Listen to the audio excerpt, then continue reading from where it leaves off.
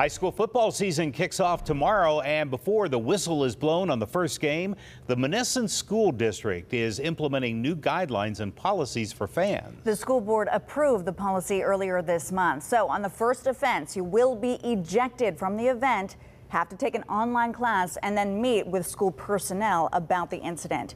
A second offense, it's a one-year ban from sporting events, and a third offense carries a lifetime ban. Again, that's the Monessen School District. But